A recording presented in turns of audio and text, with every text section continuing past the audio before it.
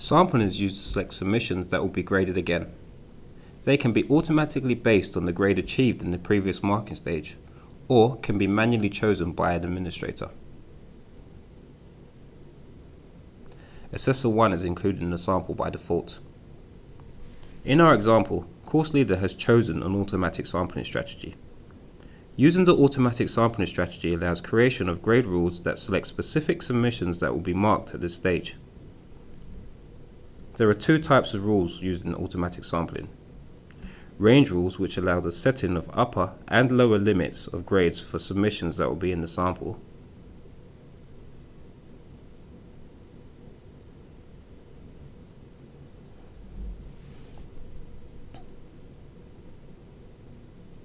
and aggregate rules that allow the user to specify a percentage of submissions that should make up the sample.